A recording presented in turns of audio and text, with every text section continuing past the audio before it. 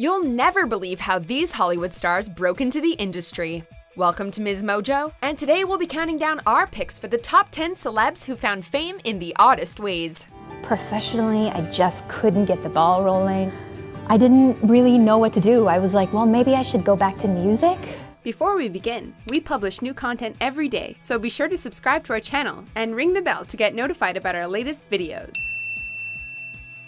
For this list, we will not be including reality TV personalities or people who became internet famous, like Danielle Bregoli, better known as the Cash Me Outside girl. Catch me outside, how about that? Huh? Catch me outside, how about that? Number 10, Pamela Anderson. For most people, attending a football game is never going to lead to a decades long career in the entertainment business. Of course, most people aren't Pamela Anderson. In 1989, the future Baywatch star attended a BC Lions game in Vancouver, where she caught the eye of one of the camera operators, and he wasted no time putting her up on the Jumbotron. Her good looks, coupled with the fact that she was wearing a Labatt's beer t shirt, led to a brief gig as a spokesmodel for the company, and just a few months later, she was on the cover of Playboy magazine. Talk about a quick rise to the top! Number 9. Jason Statham. Long before he was one of the hottest action stars on the planet, Jason Statham was just another young, ridiculously good looking street merchant. It was the early 90s, and although he had landed a gig modeling for French Connection, it wasn't enough to pay the bills. He turned to selling, quote, fake perfume and jewelry on the street corners. Oddly enough, it was his penchant for selling counterfeit goods that landed him a role in Guy Ritchie's crime comedy, Lock, Stock, and Two Smoking Barrels. His past came in handy for the film's opening scene, which featured him using his quick wit to sell jewelry to passersby. Squeeze in if you can, left leg, right leg, your body will follow. They call it walking. Number 8. Natalie Portman. Of all the places for future Academy Award winner and Harvard graduate Natalie Portman to be discovered, a Long Island restaurant had to have been one of the most unlikely. Portman and her mom were enjoying a slice of pizza when a modeling scout approached them. Flattered as she was, the future A-lister didn't want to be a model and asked if she could be put in contact with an acting agent. The move paid off, and just a few years later, she found herself starring opposite Jean Reno in the action thriller Leon the Professional. And the rest, as they say, is history. This building's full of rats. I didn't want my old man to find out. Got enough problems. Number 7. Mel Gibson. They may take our lives, but they'll never take our freedom! Mel Gibson went from being one of Hollywood's hottest actor-directors to one of its most infamous. And while his image has slowly begun to repair itself, he'll always be considered one of the industry's most controversial figures. Hey, you want to see crazy? I'll tell you. That being said, Gibson's career as we know it almost never happened. It was only after giving his friend, Steve Bisley, a lift to the auditions for 1979's Mad Max that Gibson's acting career truly took off. Director George Miller saw Gibson's face, bruised from a bar brawl the night before, and felt he was perfect for the lead role. Sometimes it pays to get beaten up. I'll say the names, and you say yes or no. Number 6. Marilyn Monroe. The preeminent sex symbol of the 20th century and beyond, it's impossible to think of Hollywood's golden age without picturing Marilyn Monroe. Ooh, do you feel the breeze from the subway? Isn't it delicious? And yet, in 1944, she was just another young woman helping with the war effort by working in a munitions factory. At this point in time, she was a brunette by the name of Norma Jean Mortensen.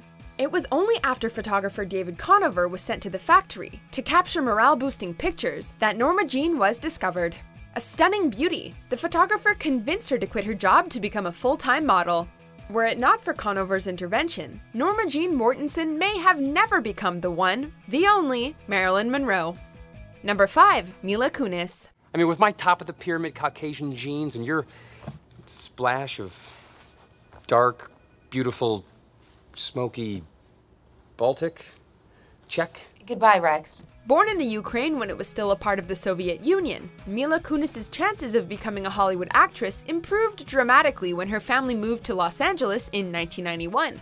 However, it was hardly as easy as it sounds. In order to immigrate to the United States, Kunis's family had to win the lottery, so to speak. You see, the United States only gives out 50,000 immigrant visas per year. That may seem like a large number until you realize that there are millions of applicants. Somehow, Kunis's family won, but their journey wasn't over. It only meant they could apply for a second lottery, which, incredibly, they also won. Now that's luck. Number 4. Mandy Moore. We'll be honest, Mandy Moore's origin story sounds made up, but we assure you it's 100% true. At the tender age of 13, Moore was recording in an Orlando music studio when a FedEx delivery man overheard her singing.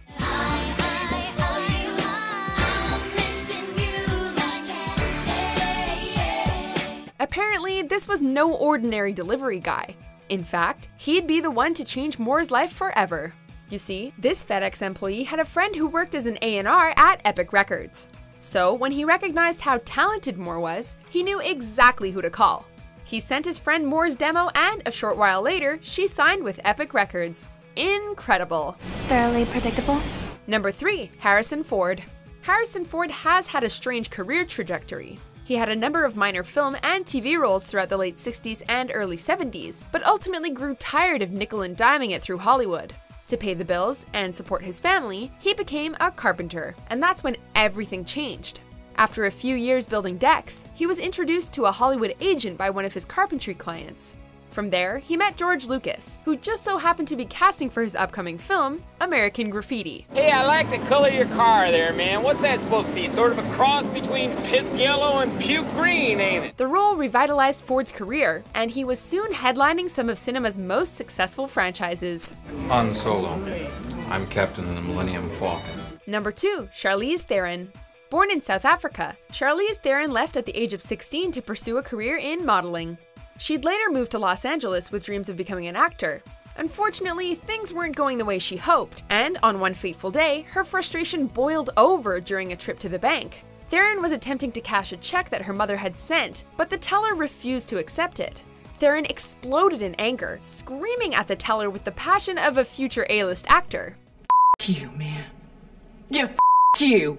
You don't know me! Incredibly, the man in line behind her was a talent agent, and he gave her his card. One Academy Award later, and it's clear he made the right choice. Before we unveil our top pick, here are a few honorable mentions. They're just some uh, projects I'm working on.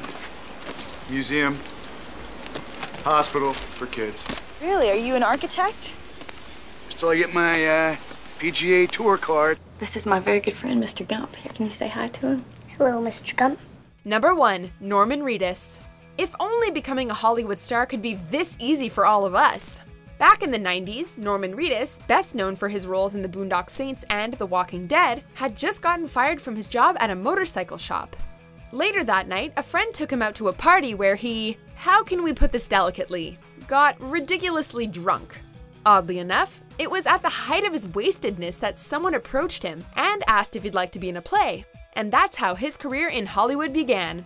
Talk about a crazy start to an awesome career. And I drank way too much and started yelling at a bunch of people. And then somebody approached me and asked me to be in a play. hey, kid, yeah. you got something. I like the way you yeah. yell, yeah. Do you agree with our picks? Check out these other great clips from Ms. Mojo and subscribe for new videos every day.